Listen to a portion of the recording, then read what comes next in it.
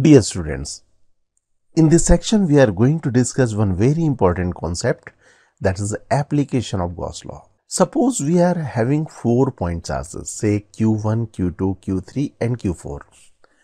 Here you can observe in this diagram the charges Q1, Q2 and Q3 are lying in a closed surface. This is the three dimensional closed surface and this charge Q4 is lying outside this surface. Okay. Suppose we are interested to calculate electric field at any point situated on this closed surface, then what we do? We use Gauss law.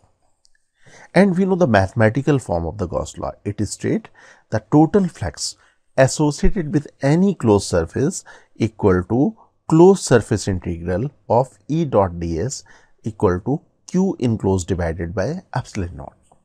Right? In this equation, you can observe this term Q enclosed. Q enclosed is the net charge inside the surface and this surface is called the Gaussian surface. Okay. This term E vector. E vector represent the electric field at any point on the surface. Okay. And one thing very important to note down that E vector is the total field and may have contribution from charges inside as well as outside the surface. That means in this diagram you can say the net electric field at any point situated on this closed surface will have the contribution of q1, q2, q3 as well as q4. Okay. Now let us move to few illustrations and through coming illustration we will learn the application of this Gauss law. So let us move to illustration number 1. In this illustration it is given electric field vector alpha dx d plus xi cap plus E naught j cap Newton per Coulomb where alpha this constant equal to 1 Newton per Coulomb hypothetical closed surface is taken as shown in the figure. You can observe this is the hypothetical closed surface. You can say this is a Gaussian surface. Okay. Find the total charge enclosed within this closed surface. You can observe here this field is having the combination of uniform field as well as non-uniform electric field. X component is non-uniform and Y component is uniform. If this electric field would have been uniform, then net charge enclosed by this closed surface would have been 0. But there is non-uniform electric field also. That means that there will be no total charges enclosed by the closed surface. So let us analyze how to calculate the total charge enclosed by this closed surface. Okay. So let us write the electric field vector. This one. This is the electric field vector and we know the alpha equal to 1 Newton per Coulomb. Okay. As we discuss one component that is the y component of electric field is uniform. That means there is no contribution of net flux to this component. Because of this component there will not be any contribution to the flux to this closed surface. Okay. So we need not to care about this y component. But electric field as we discuss it is non-uniform in the x direction that means the component of this field will contribute to the net flux. Now let us move to calculate the x component. We need not to calculate for the y component. We will calculate the contribution of the x component. So let us calculate the flux due to the x component. So let us make the diagram again. Okay. First we will consider the flux passing through this surface okay this surface. Say this surface is surface number 1 okay here you can observe the electric field lines are coming toward the surface. If electric field are coming toward any surface the flux is called the incoming flux and that flux should be with the negative sign right? Also you can observe here at this surface because this is nothing but yz plane and here x equal to 0 that means the electric field that is the Ex magnitude should be equal to D. Okay, because x equal to 0 here. And as we discuss electric field lines of force are towards surface number 1. That means this is the incoming flux and this flux should be negative. And we can, we can observe here the area vector between the angle between the area vector and electric field vector is 180 degree. That means the flux associated with this surface should be equal to Ex multiplied by area multiplied by cos 180 degree and cos 180 degree equal to minus 1. That means phi 1 equal to minus Ex multiplied by A multiplied by C. A multiplied by C is the area. Okay. So, this is the flux and phi 1 Ex equal to D. So, let us substitute the value of Ex and now we got the value of phi 1 and phi 1 equal to minus ACD. Let this equation number 1. So, we, cal we have calculated the flux associated with this surface. Okay. Now, let us calculate flux through this inclined surface. Okay. So, let us make the diagram. Okay.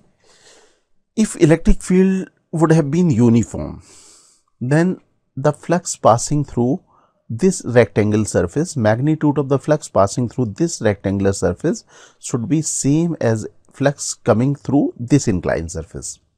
But electric field is changing with the x direction. That means the magnitude of flux passing through this rectangular surface will not be same in this inclined surface. Okay. So, we need to calculate the flux through second surface. Okay and here we cannot directly calculate the flux by multiplying electric field and area vector. Why? Because electric field having the variation along the x direction. For this purpose what we need to do? We need to take one elemental strip on the inclined plane here. So, let us take one incline, one strip on the inclined plane. Let the distance of this strip from this end is L and the thickness of strip is dl. Okay. The area vector of this strip will be perpendicular to the inclined surface and electric field is along the x direction. So, let us for the better picture let us make this situation in the two dimensional scenario. So, let us observe from the z axis. So, we will observe this triangle and the strip will be like this. Okay the distance of strip from this end is L and the thickness of strip is DL and inside dimension here is C. Okay. The area vector of strip will be perpendicular to the strip like this. This is the area vector. And electric field is along the x direction. That means in the horizontal direction. And we know this angle is theta. That means this angle is theta. And this will be 90 minus theta. Okay the electric field is having variation along the x direction. So, here we can write d phi 2 because we have calculated the flux phi 1. So, let us write d phi 2 is the flux passing through this strip. d phi 2 will be equal to Ex multiplied by area of this elemental strip that is equal to C multiplied by dl multiplied by cos 90 minus theta. So, flux through this strip will be this one okay? Here you can observe this is having the vari this term is having the variation along the x direction. And here we have the term dl that means we need to change this dl into dx so let us write this expression again. Let us do one thing. Let us write dl in term of dx and dy that means we can make the diagram like this. This is dx and this is dy and this angle the inclination of this strip with the horizontal is theta. That means we can write this term dl. Now dl will be equal to dx divided by cos theta. So we got the value of dl and value of ex equal to d plus x. So here we can write d plus x in place of ex and this term is sine theta. So this is now the final term. Now, we can rearrange again because sine theta divided by cos theta is equal to tan theta. So, finally, we can write c multiplied by d tan theta dx plus here x multiplied by c multiplied by tan theta multiplied by dx. This one. Let this equation number 3 now total flux total flux is the integration of d phi 2 so we need to make the integration of this. So let us write this integration. Okay? So let us do one thing. Let us write this expression to the next page this one. This is very simple integral. You can observe the integration of dx equal to x and limit is 0 to b and here the integration is x square divided by 2 okay so this is the final expression after placing the limit because it's a very simple one. Now we can write phi 2 equal to CDA plus ABC divided by 2. Let this equation number 4. Okay. Now we got the value of phi 1. Phi 1 is the flux associated with this surface and phi 2 is the flux associated with this surface. Okay. So total flux through this Gaussian surface, three-dimensional Gaussian surface, the summation of these two fluxes. This is the incoming flux, this is the outgoing flux. So, this is the total flux. Now, you can observe this term and this term will get cancelled. So, total flux equal to ABC divided by 2. Okay. Now, let us apply Gauss theorem. According to Gauss theorem, total flux equal to closed surface integral E dot dA Q enclosed divided by epsilon naught. Okay. Here we will use this term and this term because we know we need to calculate the EQ enclosed and we have calculated this value. So, this value is ABC divided by 2 and we need to calculate this value. So, this is the final expression. Now, we can write Q enclosed equal to epsilon naught ABC divided by 2. This is the total charge enclosed in, in this imaginary surface. Okay. In this illustration, it is given a system consists of a ball of radius capital R carrying a spherically symmetrical charge and surrounding space is filled with a charge of volume density rho equal to alpha divided by R, where alpha is a constant and R is the distance from the center of the ball. Okay. We are having a system of the charge here. One is fixed charge that is uh, occupied by the ball and second charge is having the non-uniform charge density and uh, it is having alpha divided by r relation okay?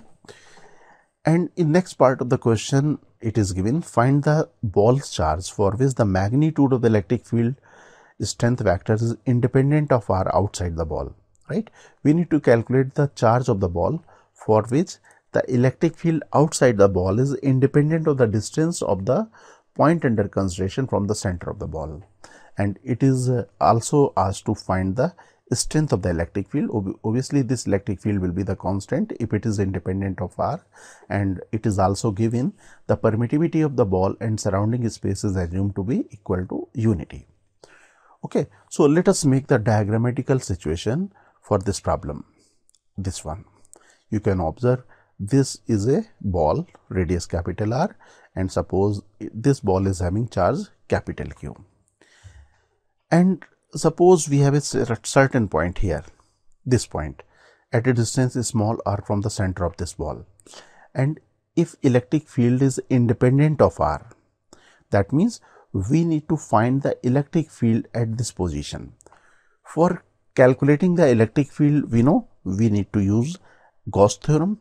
And we have the Gauss theorem that is closed surface integral equal to q enclosed divided by epsilon naught. Okay. That means for calculating electric field at this position, we need to select a Gaussian surface. For this situation, Gaussian surface should be spherical. A sphere of radius small r.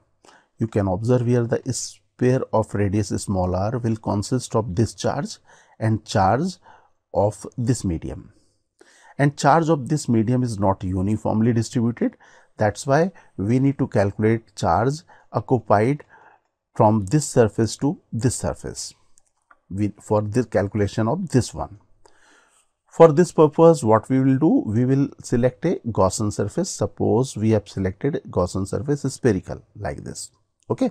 And for calculating the total charge enclosed by this Gaussian surface, we need to select a spherical cell. Suppose we have a spherical cell of thickness dr like this. Okay. Now we can apply Gauss law.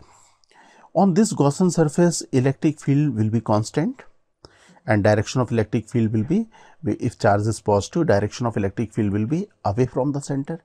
Suppose we have selected certain patch here, this is the electric field vector and area vector is also in this direction.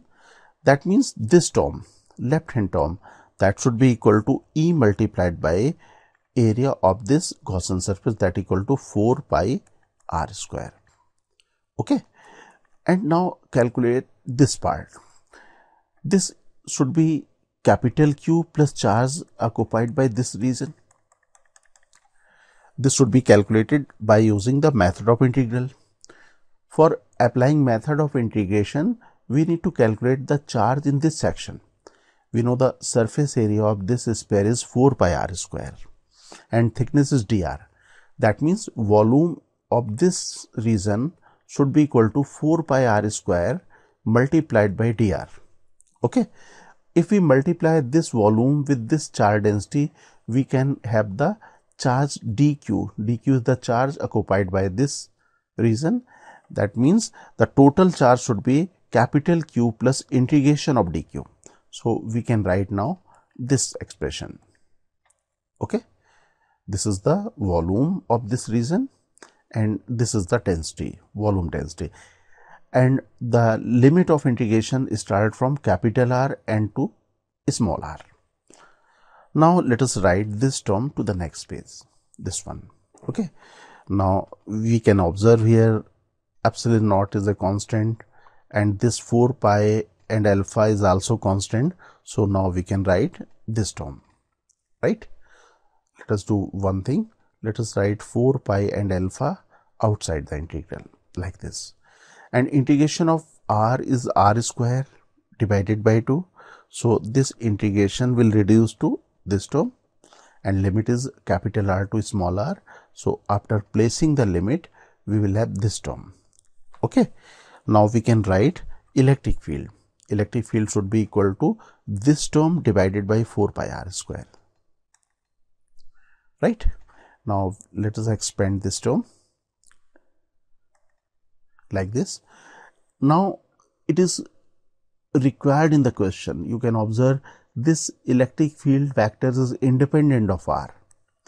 If this electric field is independent of R, that means this term, you can observe this term q divided by 4 pi epsilon naught r square and alpha r square divided by 4 pi epsilon naught r square. The summation of these two terms should be 0, right it means this term should be equal to this one.